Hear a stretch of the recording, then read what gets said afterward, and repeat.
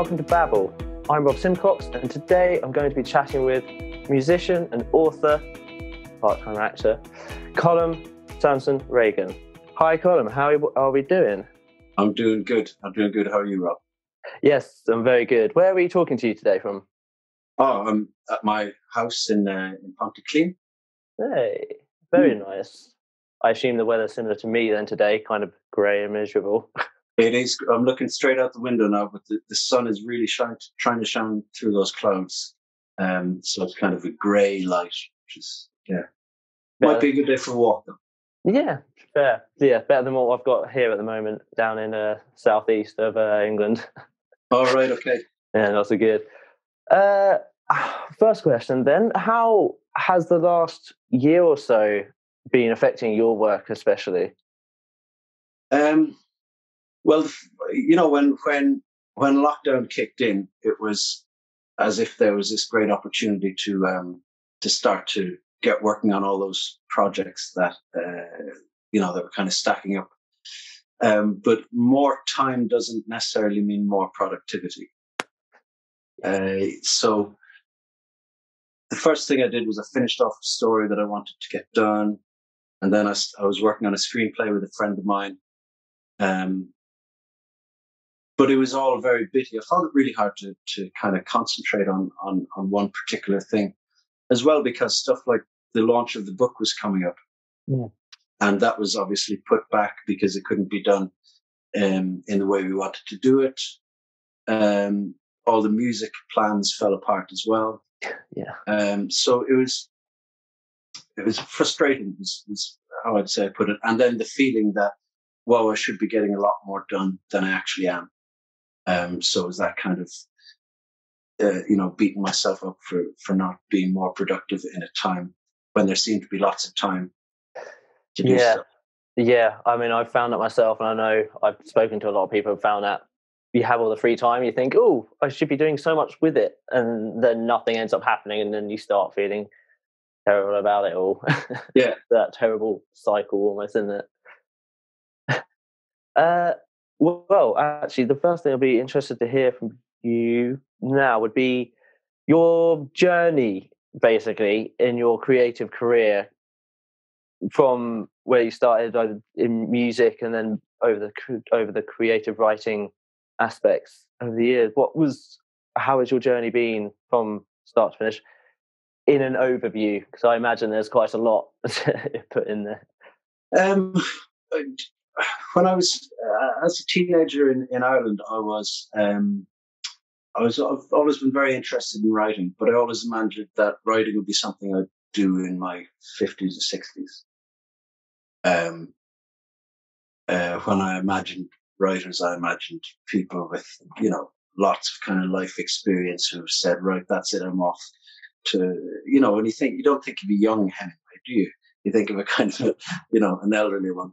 Um, uh, so um, that was it's always been my kind of impression of writers, uh, which you know is blatantly false. There's plenty of fantastic writers who are you know much younger than I am. But um, anyway, uh, once I, I, did some acting um, in in Ireland as a teenager, and then but once I started playing music, I found it a much um, more instantly gratifying way of expressing myself um, and of actually uh, getting on with people and meeting people and and creating uh, friendships through music. Um, and I found the people that I encountered in music were a lot more kind of down to earth and easy to get on with than the people I was encountering in theatre. Ah, interesting. Um, so then I I uh, I started. I, I was busking um, and I got, uh, I was approached by um, a couple who owned a bar in the Canary Islands, and they offered me a job. So I moved from Dublin to the Canary Islands, and then I started playing music, and that was it. Then I decided, right, if I can't, if I can't make a living with, uh, without, all I should need is my guitar and a pen. That's what I, that's what I decided. If I can't make a living without that, then I then I'm not trying hard enough, and that's been kind of my uh, my mantra ever since. I, I think. Um, so by closing off, I, you know, it's not a great way of approaching life, I guess, to kind of close off possibilities. But that's was what I was doing. You know, I was like saying, right, if it doesn't involve, if, if it involves me having to um, do lots of training, then I'm not going to do it. How lazy is that? That's terrible. But that's what that the twenties. Actually, moving on from that one into possibly your own creative process, as we've been talking along you know, the process of other people. For you in particular, do you have a particular process for particular sides of things like your music, your writing, uh, novel writing, and in comparatively the story, uh, the short story writing? Is do you have different ways of doing a creative, or does it all follow a similar line of the process? The um, the the novel writing is something which is very peculiar um, to to itself. When the short story writing, I would compare to kind of doing an album or something like that, where you've got um, um, short stories are great. I love them because you can uh, you can be in one and then pull yourself out and then pick up another one that you've been working on and you know do aspects of that. Or you can be working on something go you know this might actually work better in in this other story. Um uh, and it's you don't have to be as purely single-minded and um, uh, with the with the kind of fictional novel, um, you are waist deep in it, and you're you're pushing yourself through, and everything everything feeds into. Um, I had, and and the kind of routine of how I I wrote was I'd be out gigging, I'd come back, um, you know, get back in maybe half 12, one o'clock. And I had two, in, in the novel, The Fly Guy, there's two kind of storylines. Um, one is a detective and the other is of the writer. Mm-hmm. Uh, and so if I was on the detective, if I was on the writer storyline, I had a Chopin um, uh, nocturnes to, to listen to. And the other one was Bach's cello suites because I found that listening to music with words was didn't help at all with with writing. It's very distracting. Um, so I found these these were two things. So uh, and it was just like a trigger. So once I turned that music on, it was a trigger for me to kind of get into that place. Then I had treat a kind of a treat system where I, where I had some nice red wine, um, and I would allow myself uh, uh, another another uh, you know another sip of red wine or a top up or whatever when I'd reached a certain, maybe a thousand words or two thousand words. I forget exactly what it was. But wine and chocolate was important um, for uh, keeping me going through that. and then I do, I do probably maybe two hours, kind of until about three o'clock or so, um, and uh, and then stop. So that was um, so all my writing for the novel was done at night, really. And then when I edited it, it was all edited during the day. Um, cool. Editing was much more a daytime thing, um, with less less wine involved. um, uh, and then uh, the short stories were are a different thing. I've got there's a place in uh, in Tenby in in, um, in West Wales. Uh, there's uh, a hotel that rents kind of bedsit rooms right on the seafront. So um, I took myself away there a few times for like three, four days at a time. Mm. So I had like three, uh, three sessions of that where, um, where I took myself away and just got a lot of writing done in those couple of days, um, in a really short space of time. And then at home, it, you know, kind of ref- refining ideas.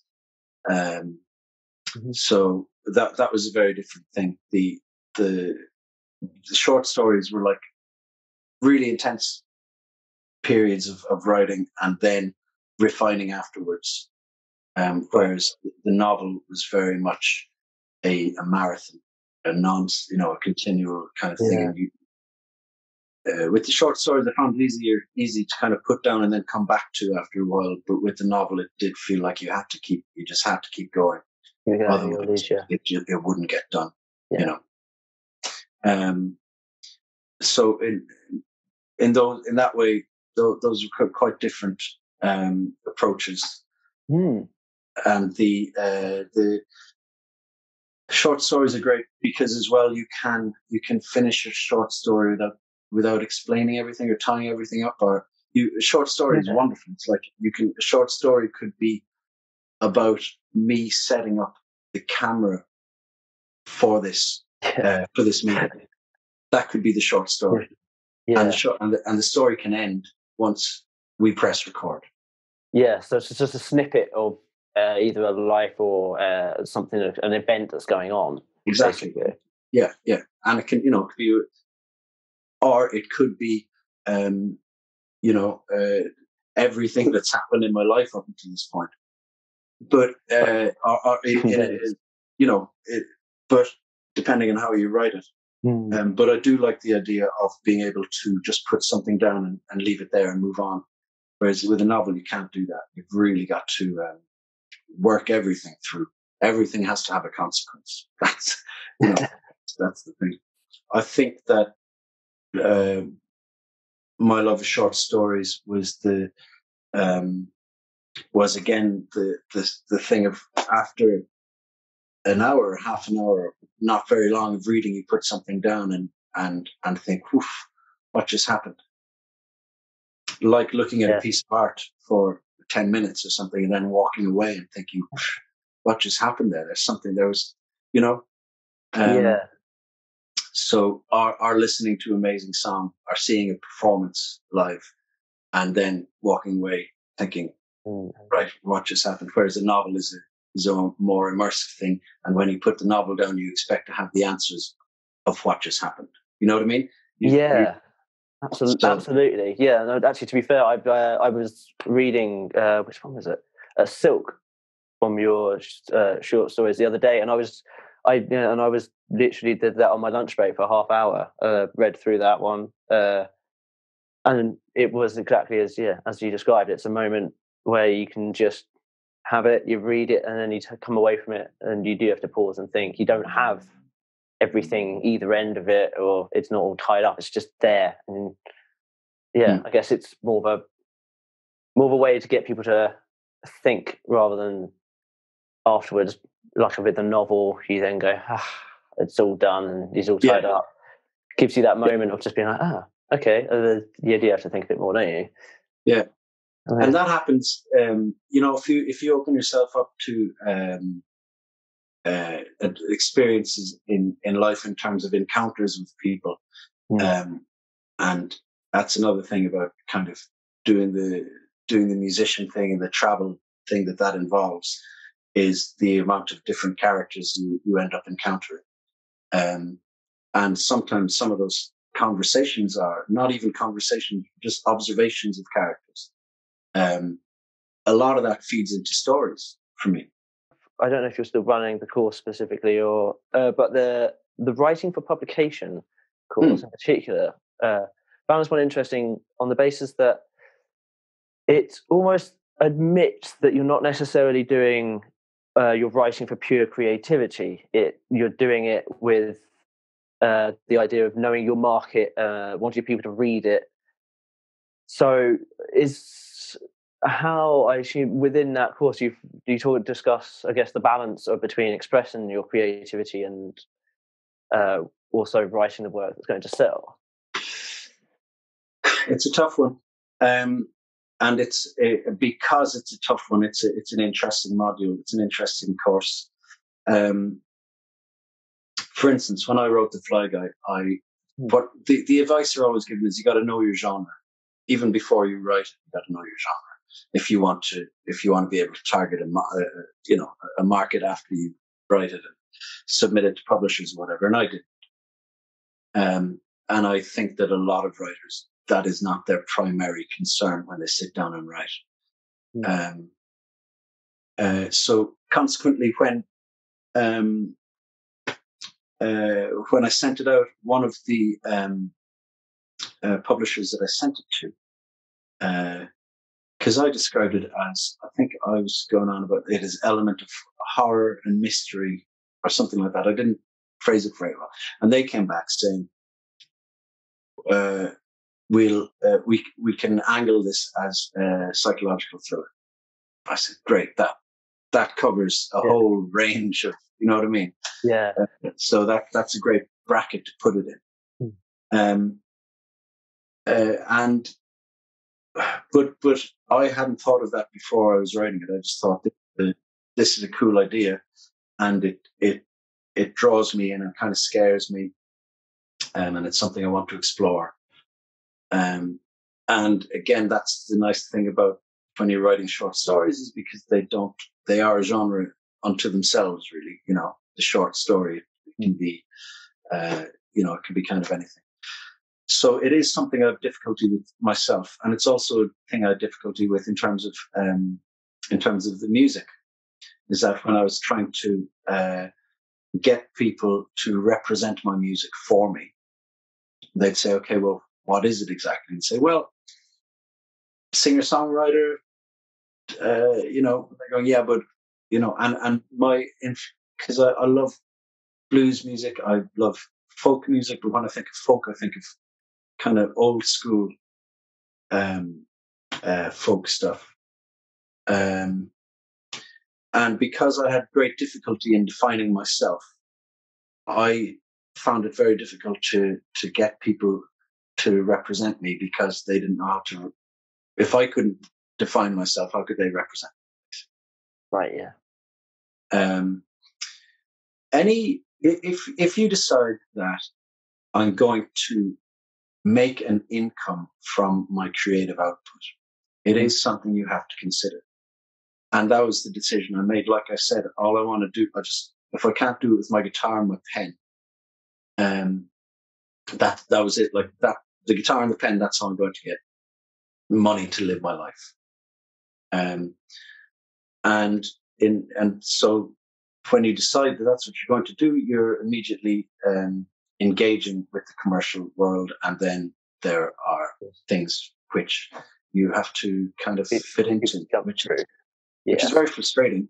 And yeah. I'm not very good at it. Um, uh, and the and then when it comes to publishing, there's the, the, the publishing the book publishing world now is very different to how it was even ten years ago or five years. You know, it, definitely ten years ago. And then it started this kind of um, trajectory where the, the, the bigger publishers um, don't matter as much as they used to. They still do to a certain extent, but the um, when people browse online, they're not looking at whether it's Macmillan or whether it's Penguin or whatever. They're just looking at um, uh, the reviews and what other what it's like. You know, this if you like this, then you might like whatever. Yeah. You know, that's the kind of parameters that people think with it. Speaking of your music, briefly, I wanted to go into how the music that you've done yourself. Do you produce a lot of that yourself? Do you mainly do writing and lyrics and then take it to uh, studios and producers to do the help you with the rest of it, or do you do that a lot of it yourself? No, it's it's the latter. It's um, I'll uh, I'll get the I'll, I'll write it, um, get some kind of arrangement together, um, get a really good concept of of what it is, get other musicians, figure out the other musicians I want involved, what I want them to do, um, and then take it to uh, take it to a producer. I I I've never um, set up a a home studio. Oh. I've set up as basic recording, you know what I mean? Just yeah, yeah. demos down. But in terms of um, in in terms of getting to that point where I could come up with something finished myself, I've never I've never done it. Um, and you know, in that probably not the not the wisest way to do things. Um, but what it does mean, for instance, the uh, the project I'm working on now is hmm. uh, a, a, project of it's a collection of folk songs, but they're old folk songs. They're a cappella folk songs that would, would have been sung in um, the sean-nós style, which is an Irish style of singing, which is unaccompanied. Um, and so these are songs which, you know, some would date back to, well, the, the, they would date back a long time. There's lots of different versions of them, but they're they're all, you know, in uh, there's no copyright on them or anything. They would have been mm. um, passed down. Different places have different variations of them. Um, so, for instance, there, there's one which is um, back to the kind of Jacobite Revolution times. You know, uh, another one from the English uh, Civil War. Uh, so they're very, very old melodies. Yeah. All in the English language. So I don't have any um, don't have any Welsh songs on there yet. Um, uh, but from England, Ireland, Scotland, and uh, and Wales, I'm still looking for a, a, song from Wales that I like to do. Um, and so I've, I've, I'm working with a producer in Bristol uh, called Gaz Williams, and so I approached a couple of different producers about this uh, about this what I wanted to do, um, and uh, and Gaz was the one who who immediately kind of clicked. I didn't have to explain too much about what I wanted to do, and the idea of building up arrangements only with voice. That I wanted it to to be quite an immersive experience, but I didn't want it to sound like a choir. I didn't want it to sound like a barbershop. I didn't want it to sound like you know, the kind of expected. Um, yeah. So, and all the textures are is on, only comes from from from my voice. Yeah. So no other instrumentation, and um, and pulling something like that off myself at home would be super difficult.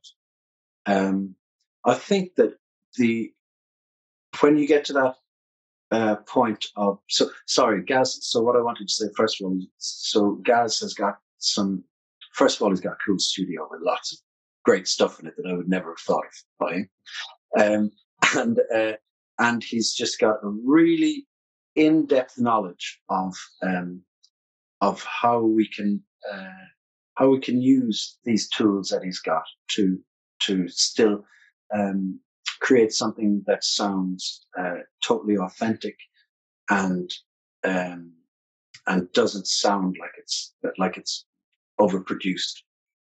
Yeah, you know, and and because for me, music is a super collaborative experience, mm-hmm. um, and working with a producer is. Uh, I've I've always enjoyed. I've always enjoyed going into a studio with somebody else there who has got ideas that I might not necessarily have thought of, or yeah. who says that's good, but it's not quite good enough, and so forces me to up my game, you know, yeah, yeah. and uh, and and that and that relationship I think is, is really important. Um, I yeah, so I in in in that sense, um, me setting up a studio at home for one thing, I don't know if I'd ever actually finish anything because that's another thing about going into studios. You have a finite amount of time. Yeah, you're set. So yeah, yeah. so you have to get it done. Yeah. Um, uh, whereas if it was at home, I don't know if I'd ever. I'd, and as well, there's so much. Uh, maybe I'm just too lazy to learn it all. You know. I mean, fair, yeah. I mean, uh, there's a lot of unfinished projects music wise that I also have on my. It's a lot of oh, that's a great idea. Put it down. Do you? Do you? Uh, I do uh, ish, uh, but like I said, I mean, a lot of them are unfinished on the basis that I've, I mean, I basically just need to probably, as you say, collab with people and develop my ideas a little further. That's probably what I need to do as my next step, to be honest. Well, that's one of the hardest things I've found about um, about the writing um, yeah. process and the novel in particular is is kind of uh, being disciplined enough to to get it to a point um uh you know to, to get it finished and to and to get it to a point where I think okay I'm going to have to send this off now um whereas when you're collaborating with someone you do have somebody else there to to to tell you to to you know what I mean to say well listen yeah. I got another project in February. So it'd be great if we wrap this one up by you know the end of the year or whatever that might be. Yeah. Um, Deadline yourself almost. yeah, yeah.